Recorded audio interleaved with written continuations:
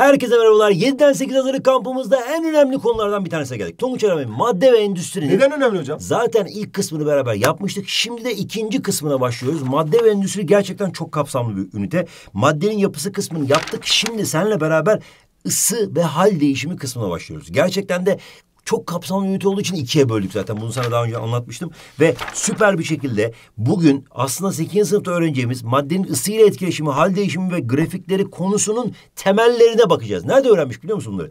5 ve 6'da öğrenmiştik. Maddenin hal değişimine bakmıştık. Maddenin kaç hali var? E, katı, sıvı, gaz. Süper zekisin. Ay- Maddenin edici özelliklerine bakmış- bakmıştık. Yani kaynama noktası, donma noktası ve benzeri ısı ve sıcaklık kavramının ne olduğuna bakmıştık. Sonrası altıda da maddenin tanecikli yapısı ve ısı ile etkenliğine beraber bakmıştık. Şimdi bunların tekrarını yapıp sekize zımba gibi, bomba gibi hazır olacağız. Peki onun için ne yapıyoruz evladım benim? Tabii ki bu arada hemen şunu sormak söylemek istiyorum. Ödevlerimizi bu programımızdan indirebilirsin, bakabilirsin ve aynı zamanda hemen ödevini vermeden ödevsiz olmaz çünkü diyoruz. Sekiz tane testim var. Kusura bakma bunun testler merak etme çok basit. Çok soru 7'den geldiği 8'e için mi çok test var? Hazırlık setimizin içerisinde 7'den 8'e e, yaz tatili kitabımızın içerisinde hemen gösteriyorum. Sayfa 188. Bu konu çok önemli.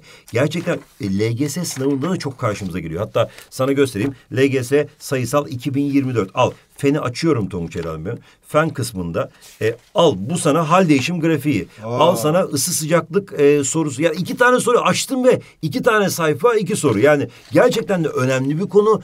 LGS Fen'in yüzde onunu oluşturuyor neredeyse iki soru.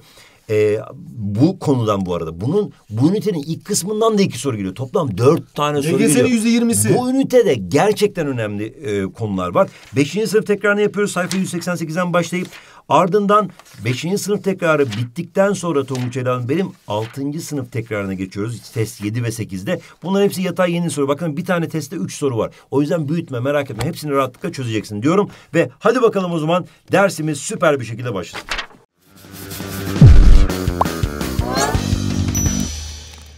Madde ve endüstri ünitemizin ikinci kısmında biz beşinci sınıfta gördüğümüz hal değişimi ve ısı sıcaklık konusuna bakacağız. Aynı zamanda altıncı sınıfta maddenin tanecikli yapısını işlemiştik. Buna göz atacağız çünkü bu kavramlar işte taneciklerin birbirine yakın olması, katıda işte gazda daha uzak olması ve benzeri bunları 8. sınıftaki madde ve endüstri ünitemizde kullanacağız diyoruz. Peki o zaman hemen başlayalım. Bir kere maddenin hal değişimlerinde ne biliyorduk? İşte katı, sıvı, gaz. Üç tane maddenin hali var. İşte bu buz dediğimiz şey aslında bizim için katıdır.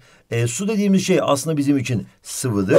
Bu da buhar dediğimiz şey de aslında bizim için gazdır. Şimdi katıdan sıvıya geçişe biz ne diyorduk evladım benim? Erime hocam. Harikasın.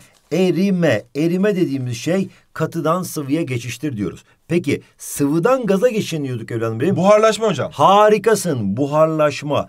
Buharlaşma da aslında sıvıdan gaza geçiştir. Buhardan suya geçiş birazcık zor. Onu ben söyleyeyim. Yoğuşma veya yoğunlaşma bu o da, o da söylenebilir. Sudan buza geçiş yani sıvıdan katıya geçiş de zaten donma olarak biliniyor. Bir de iki tane kıl şey var. O da katıdan gaza geçiş. Bu önemli. Katıdan direkt gaza geçiyorsa biz buna ne diyoruz? Süblimleşme hocam. Harika. Nereden hatırladın? Helal olsun be. Süblimleşme dediğimiz e, olay oluyor. Eğer gazdan da katıya geçmek istiyorsak da burada da kırağılaşma dediğimiz bir garip bir adı var ama yapacak bir şey yok. Kırağılaşma dediğimiz bir adı var diyoruz. Toplamda biz burada altı tane hal değişimi görüyoruz. Bak erime, buharlaşma, yoğuşma, donma, süblimleşme, kırağılaşma. Şimdi soldan sağa doğru giderken yani katıdan gaza doğru giderken hep bir aslında daha düzensiz bir hale doğru gidiyoruz ve aslında daha e, böyle bak burada her şey düzenli şekli var, şuklu var, her şeyi var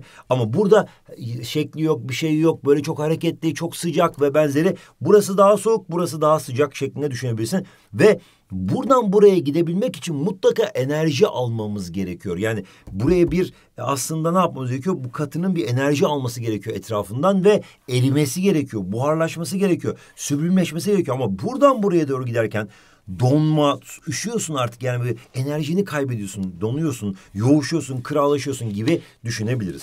Tonguç 7'den 8'e yaz kampı başladı. 7'den 8'e hazırlık setini al, ücretsiz yaz kampına katıl, 8. sınıfa bomba gibi başla. Üstelik 7'den 8'e hazırlık seti alana LGS dershanesinde %40'a varan indirim var. LGS'de bu yıl senin yılın olacak. 7'den 8'e hazırlık seti tonguçmağaza.com ve tüm kitapçılarda. Hemen sana bir soru. Elif öğretmen tahtaya maddenin hal değişim olaylarını aşağıdaki gibi yazmıştır. Tahtada verilen olaylardan hangileri birbirinin tersidir demiş. Bu çok önemli. Şimdi bir kere burada birbirinin tersi dediğimiz olaylar aslında aynı noktada olan olaylar. Mesela e, katı sıvıya geçerken ne oluyordu? Eriyordu. Aynı zamanda sıvı katıya dönüşürken de donuyordu. İşte bu ikisi birbirinin tersi oluyor. 3 ve 6 birbirinin tersi oluyor. Burada olabilir, burada olabilir diyoruz. Çünkü erime ve donma aynı noktada olur. Mesela e, sana sorsam e, başka bir şey soracağım şimdi. E, buharlaşma. Ee, ve aynı zamanda yoğuşmaya baktığımız zaman. Mesela su kaç derece kaynar? 100 derece kaynar hocam. Harikasın. 100 derecede kaynar dediğin gibi ve 100 derecede aslında gaz haline geçer sıvıdan. Aynı şeyde su 100 derecede, su buharı 100 derecede yoğuşur diyoruz. Yani buharlaşmayla yoğuşma da birbirlerinin aslında tam aynı noktada olduğu için tam tersi diyoruz. O zaman 1 ile 5 diyoruz. Ve krallaşma ile sümleşme katıdan gaza geçişe süblimleşme, gazdan katıya geçişe de krallaşma diyoruz. O zaman iki ve 4'ü de beraber hale getiriyoruz. Cevabımızın A seçeneği olduğunu net bir şekilde söyleyeceğiz. Şimdi geldik maddenin ayırıcı özelliklerine. Bir kere ne demiştik? Aynı yerde olan olaylar erime donma ve aynı zamanda kaynama yoğuşmadır. Bu bu arada buharlaşma dediğimiz şeyin diğer bir adı da kaynamadır. Tam o noktada olduğu için biz ona genellikle kaynama diyoruz. Buharlaşma çünkü genellikle her e, an olan bir olay. Ama tam buharlaşma dediğimiz şeyin adı kaynama ve yoğuşmayla aynı nokta oluyor. Erime de donmayla aynı noktada oluyor ve şunu söylemek istiyorum. Ne demiştim sana? Mesela bak e, 100 su kaç derecede kaynar demiştik? 100 derece kaynar hocam. Harikasın 100 derecede kaynar ya. İşte aynı şekilde su buharı da 100 derecede yoğuşur. İşte bunlar birbirleriyle aynı noktada oluyor.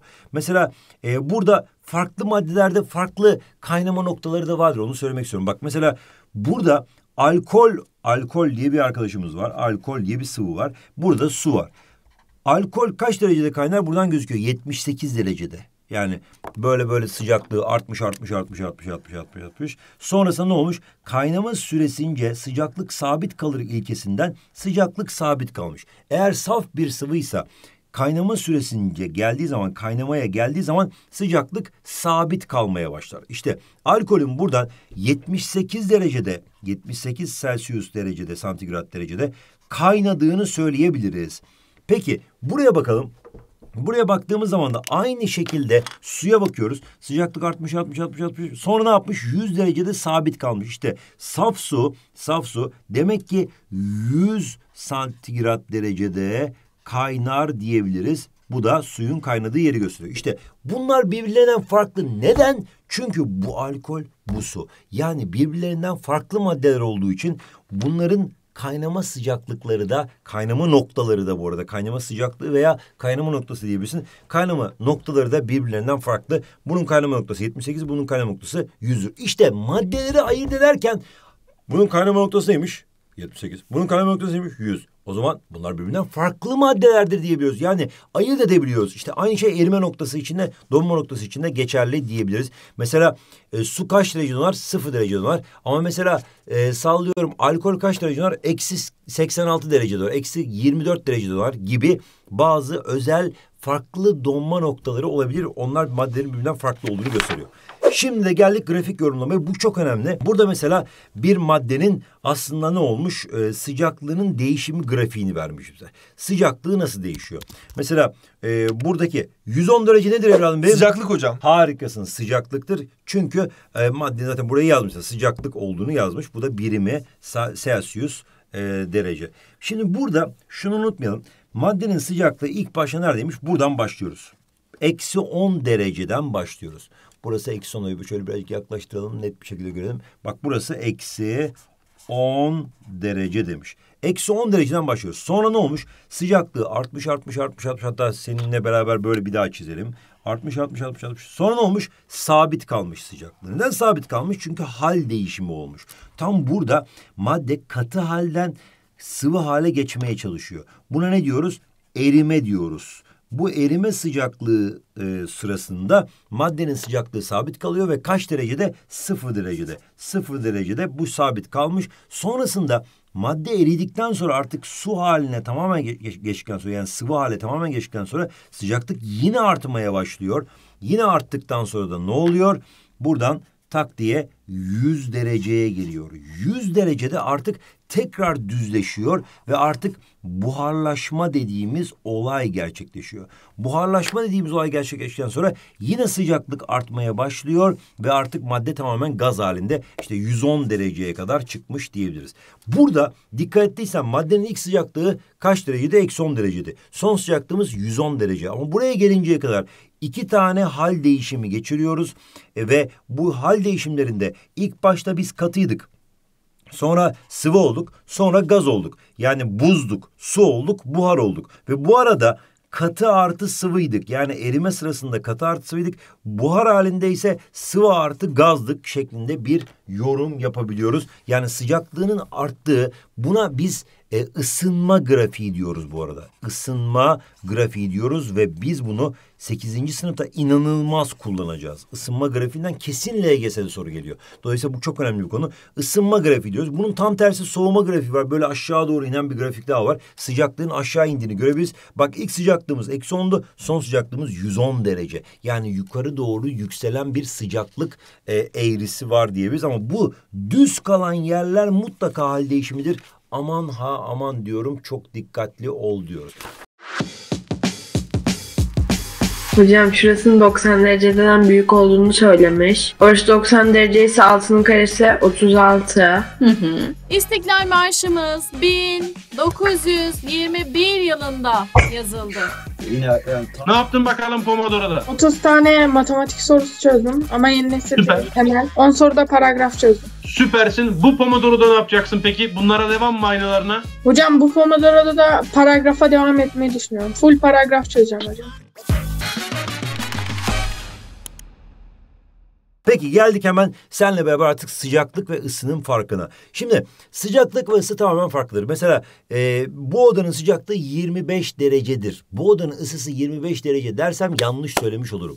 Bir kere sıcaklık enerji değil. E, sıcaklık sadece bir ölçüdür aslında. Peki ısı nedir? Bir enerjidir. Yani e, bu mesela e, ısındığım zaman bir enerji almış olurum. Veya ısı kaybettiğim zaman bir enerji kaybetmiş olurum. Isı bir enerji türüdür. Ve ısıyı biz ölçebilmek için kalorimetre kabı ile ölçeriz. Ya kalorimetre kabı denilen özel bir alet kullanırız. Ama sıcaklığı ölçmek için günlük hayatta da kullandığımız ne kullanırız? Termometre kullanırız. Dolayısıyla burada termometre kullanılıyor. Burada kalorimetre kullanılıyor diyebiliriz. Birimi sen, santigrat Celsius derece diyebilirsin. Celsius diyebilirsin. Diğerinin birimi ise ısının birimi enerji olduğu için joule enerji birimi zaten veya kalori şeklinde gösterilebilir. Bir kere şunu unutmayacağız. Isı maddeler arasında aktarılabilen bir enerji türüdür ve aktarılabilir diyebiliriz. Ama sıcaklık maddeler arasında aktarılamaz. Bu ne demek? Mesela 70 derece ile 20 derece sıcaklığa sahip iki tane cisim yan yana koyulduğu zaman buradan buraya doğru bir ısı akışı olur. Buradan buraya doğru bir ısı akışı olur. Yani ısı akış yönü diyoruz buna hatta. Isı akış yönü her zaman ama her zaman sıcaktan soğuğa doğrudur ve sıcaklık farkı yüzünden oluşur. Sıcaklık farkı varsa ısı mutlaka alışveriş yapar. Isı alışverişi mutlaka olur diyorum evladım benim. Peki hemen geldik o zaman şimdi maddenin tanecikli yapısı konumuzun tekrarına yani bir sonraki sınıfımıza. Bir kere katı, sıvı, gaz maddenin kaç tane hali varmış? Üç tane hali varmış. Bu üç tane halden katı tanecikleri birbirlerine en yakın olan gazsa tanecikleri birbirine en uzak olandır diyebiliriz. Şöyle bir hani görsellerle de bunu bu şekilde gösterebiliriz. Bir kere şunu unutmayalım. Katıların belli bir şekli vardır. Ama sıvı ve gazların yoktur. Ve biz bunları ne diye adlandırıyoruz biliyor musun? Akışkan olarak adlandırıyoruz. Yani bu ikisini biz akışkan olarak adlandırıyoruz. Yani belli bir şekli yok. Her kabın şeklini alır diyebiliriz. Akışkan olmada bu akışkan değil bu dağlara akışkan demiştik. Ve zaten akışkan olmadığı için belli bir şekli vardır diyoruz. Peki sıkıştırılabilmeye baktığımız zaman asla ve asla katı ve sıvıyı sıkıştıramazsın.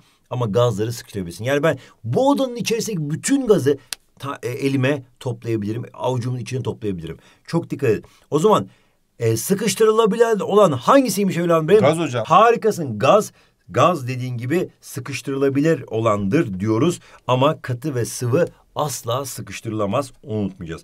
Tanecik hareketine baktığımız zaman katı ve sıvılar ve gazlar hepsi de hepsi de titreşim hareketi mutlaka yaparlar. Hepsinde titreşim hareketi var ama gazlar ve sıvılarda akışkan olduklarından dolayı dönme ve öteleme hareketleri de ekleniyor. Yani sıvı ve gazlar çok hareketliler. Onu da söylemek istiyorum. Yani burada sabit bir şekil, böyle durağan bir yapı ama sıvı ve gazların çok hareketli olduğunu, dönme, öteleme, titreşim hepsinin olduğunu bilmemiz gerekiyor diyoruz. Hadi bakalım o zaman bir soru çözelim sana beraber. Şekildeki renkli kartların ön yüzüne maddelerin tanecik yapısını çizen Hasan demiş. E, kartların arka yüzüne aşağıdaki gibi özellikleri yazıyor demiş. Buna göre hangi karta yanlışlık yapmıştır demiş. Bakalım. Şimdi bir kere bu tanecik yapısına baktığımız zaman, bu tanecik yapısına baktığımız zaman ve bu tanecik yapısına baktığımız zaman maddenin tanecik yapısını çizen demiş, e, özelliklerini yazıyor demiş. Bir kere bu katıya benziyor çünkü tanecikleri birbirine çok yakın. Tanecikler birbirine çok yakın olunca ve dip dibe olunca belli bir şekli var gibi gözüküyor. Bunun da belli bir şekli yok ama bu e, bundan birazcık daha uzak tanecikler sıvı. Bu da zaten tanecikler birbirinden bayağı uzak gaz şeklinde yorumlama yapabiliriz. Belli bir şekli vardır. Bir, katının belli bir şekli vardır. Evet doğru bravo diyorum. Bulunduğu kabın şeklini alır. Üç, evet sıvılar bulunduğu kabın şeklini alır. Tanecikleri serbest hareket eder. E, evet gaz tanecikleri birbirine tamamen bağımsız hareket ederler. Öteleme hareketi yaparlar. E, öteleme hayır yanlış. Neydi? Katılar titreşim. E, hepsi titreşim ama e, öteleme ve dönme, öteleme ve dönme. Pardon dilerim bunda yoktu özür dilerim katıda yoktu. Öteleme ve dönme yani akışkanlarda sıvı ve gazlarda öteleme ve dönme mutlaka vardır. Cevabımızın D seçeneği olduğunu net bir şekilde söyleyebiliriz. Şimdi geldik ısı iletkenliğine göre maddelere. Bu da çok önemli bir konu. O da şu. Nasıl elektrik iletkenliği varsa iletken maddeler, yalıtkan maddeler vardı. Bir de ısıyı iletebilen maddeler var. O da mesela metal kaşık. El, çorbanın içine koyarsak veya çayın içine koyarsak böyle tuttuğumuz zaman aslında ne olur? Hemen tak diye elin yanar değil mi? İşte tak diye elin yanması metal kaşığın ısıyı acayip hızlı, acayip kolay iletmesi. Dolayısıyla metal kaşıkta iletkenlik, ısı iletkenliği çok fazladır. Çünkü metaller genellikle ısı ve elektriği çok iyi iletirler. Ama yalıtkan maddelerse yani iletmeyen maddelerse ısı ısıyı burada ilet. Mesela tahta kaşık e, aslında tahta, aynı zamanda plastik, ki yemeklerde kullanmayalım plastik birazcık zararlı olabilir. Tahta kaşık en iyisidir bu arada. İşte porselen bunlar aslında ısıyı ve elektriği iletmeyen maddeler. Hatta elektrik iletkenliğiyle de bağlantılı bunlar diyebiliriz. Metal kaşık ısı iletkenliği yüksektir. Genellikle bütün metallerin ısı iletkenliği çok yüksektir diyebiliriz. Ve o zaman hadi bakalım bir soru yapalım ve dersimizi artık noktalandırıyoruz. Şimdi e, günlük yaşantımızda kullandığımız eşyaların yapımında kullanım amacına göre iletken veya yalıtkan malzemeler tercih edilir. Verilen tava ve tencerenin ısı iletkeni ve ısı yalıtkanı olan bölümleri aşağıdaki hangisi doğru verilmiş demiş. Bakalım. Bir kere bir tavayı e, tavayı tutarken elimizle buradan tutarız değil mi?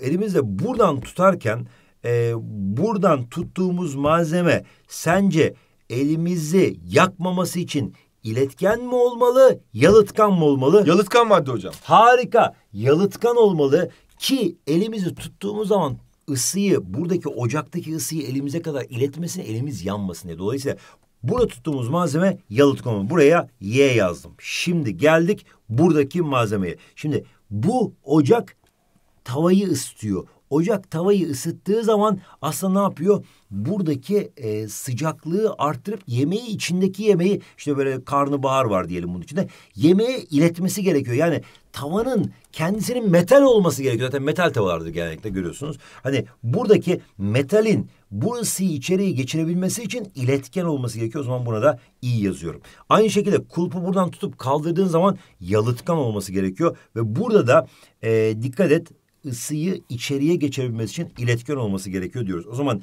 e, ne demiştik? E, 1 ve 4 iletkende, 1 ve 4 iletkende, 2 ve 3 de yalıtkanda cevabımızın A seçeneği olduğunu söyleyebiliriz. Hadi bakalım o zaman ödüllü sorumuzu yapın, yorumlara yollayın. Bir sonraki dersimizde görüşmek üzere. Tonguç Dershane yaz kampını sundu.